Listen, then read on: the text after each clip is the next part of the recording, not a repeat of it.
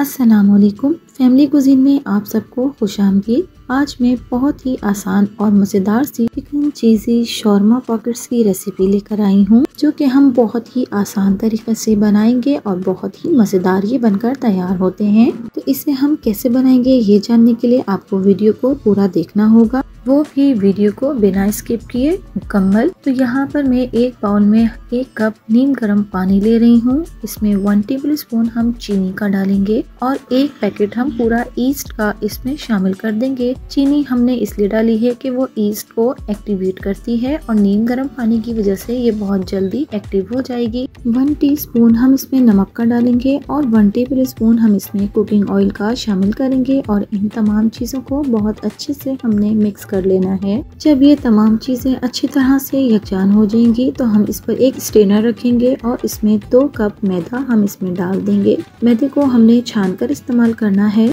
जैसा कि मैं आपको हर वीडियो में बताती हूँ कि इसमें बहुत बारीक बारीक से कीड़े होते हैं, जो कि हमें नज़र नहीं आते, इसलिए इसको छान कर इस्तेमाल करना ज़रूरी है।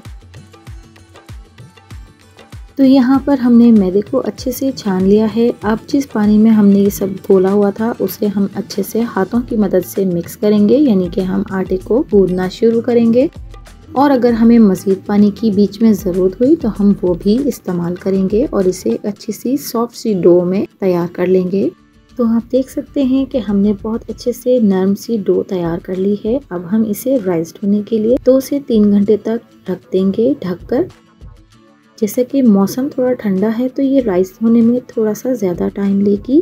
वीडियो को आपने बीच में से स्किप नहीं करना है। मैं आपको एक बहुत ही सिंपल सी और आसान सी सॉस भी बताऊँगी, जो कि बहुत ही आसान और बहुत ही कम इंग्रेडिएंट से तैयार हो जाएगी। डो को ढकने से पहले हमने हाथों पर थोड़ा सा ऑयल लेना है और वो हम इसके ऊपर लगा देंगे ताकि इसके ऊपर किसी भी तरह की हल्की सी भी स्किन ना बनने पाए और इसे अब हम क्लिंग क्रैप से ढक देंगे ताकि ये बहुत अच्छे से राइज हो जाए। यहाँ पर मैं एक बाउल ले रही हूँ। अब हम इसके यहाँ पर सॉस तैयार करेंगे। यहाँ पर मैं हाफ़ कप मेयोनीज का ले रही हूँ। मेयोनीज लेने के बाद मैं यहाँ पर इतनी ही क्वांटिटी में केचप सॉस ले रही हूँ।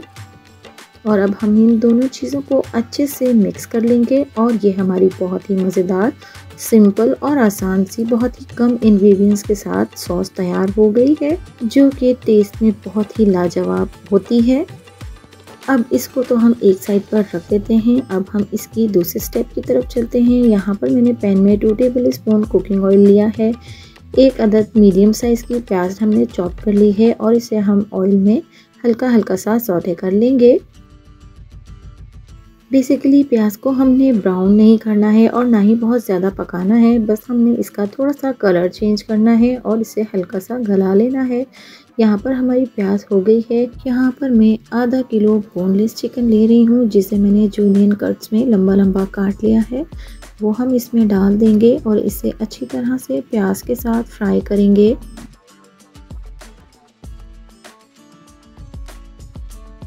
जब चिकन का कलर हल्के हल्के से चेंज होने लगेगा, तब हम इसमें वन टेबल स्पून लहसुन अदरक का पेस्ट शामिल करेंगे और मज़ीद हम इसे लहसुन अदरक के पेस्ट के साथ भी अच्छे से भून लेंगे ताकि चिकन में से अच्छे से हीट निकल जाए। इसके बाद हमने इसमें कुछ मसाले डालने हैं। वन टीस्पून लाल मिर्च पाउडर हाफ़ टी स्पून काली मिर्च पाउडर वन टीस्पून धनिया पाउडर वन टीस्पून हल्दी powder one teaspoon chicken tikka masala और वन टीस्पून हम इसमें चिकन पाउडर का शामिल करेंगे और इन तमाम मसालों को चिकन के साथ अच्छी तरह से भून लेंगे।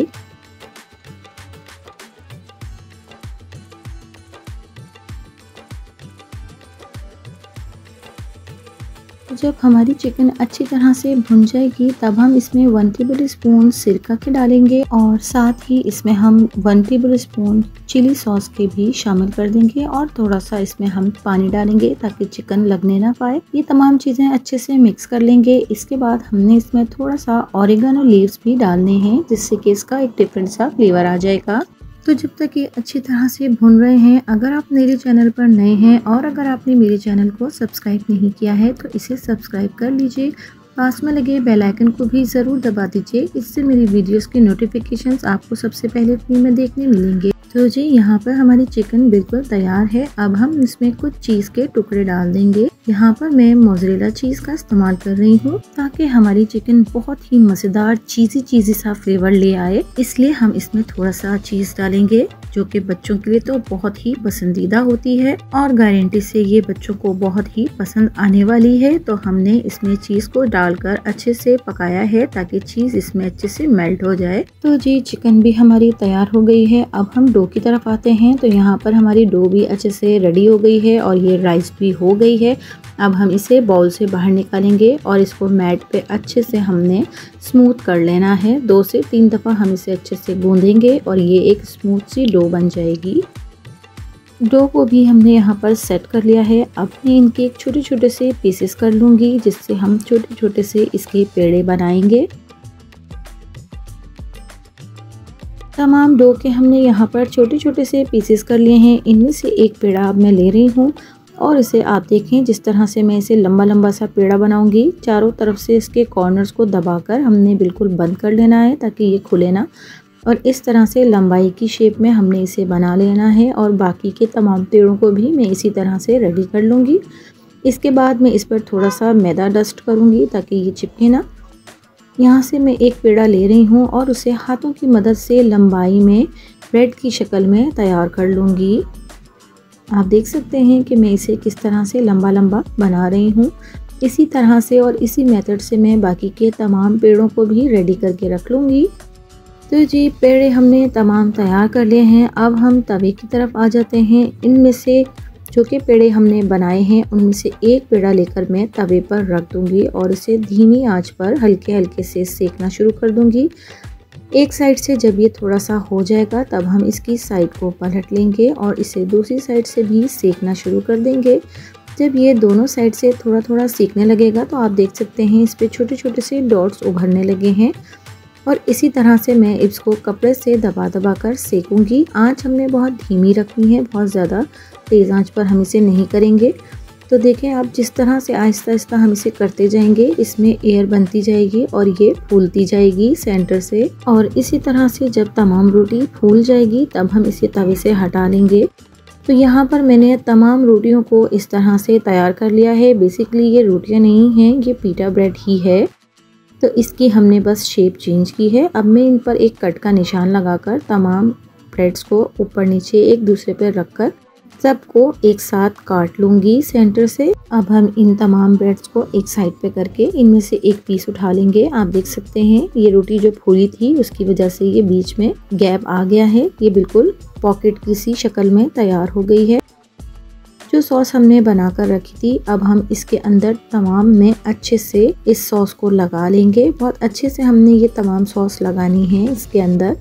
आप देख सकते हैं कि मैंने कितने अच्छे से तमाम ब्रेड के अंदर, तमाम पॉकेट के अंदर सॉस लगा ली है। सॉस लगाने के बाद मैं यहाँ पर सलाद का पत्ता इसके सेंटर में रखूँगी और लंबी लंबी कटिंग किए हुए टमाटर में इसमें डालूँगी और जो चिकन हमने तैयार की थी चीज़ के साथ वो हम इसके अंदर फिल कर देंगे। चीज़ चिकन के साथ फिल करने के बाद मैं यहाँ पर थोड़ी सी शिमला मिर्च जो कि हमने लंबाई में कट की है, वो हम इसके अंदर लगा देंगे। आप चाहें तो इसके अंदर फ्रेंच फ्राइज भी रख सकते हैं इन वेजिटेबल्स के साथ। तो ये तमाम चीज़ें हमने इसके अंदर फिल कर ली हैं। इसके बाद सबसे सबसे आखिर में जो हमने सॉस तैयार की थी, वो हम इस पर थोड़ी सी डाल देंगे, जिससे कि इसका टेस्ट मज़ीद वाला और बहुत ही मज़ेदार सा फ्लेवर इसका आ जाएगा। तो ये हमारी बहुत ही मज़ेदार सी चिकन चीज़ शवारमा पॉकेट्स बनकर तैयार हो गई हैं। मैं एक पॉकेट आपको थोड़ा सा फास्ट फॉरवर्ड में करके भी दिखा देती हूँ कि हमने इसको किस तरह से तैयार किया है। तो जी, ये हमारी बहुत ही मज़ेदार से चिकन चीज़ शॉर्मा पॉकेट्स बनकर तैयार हो गए हैं, जो कि हमने बच्चों के लिए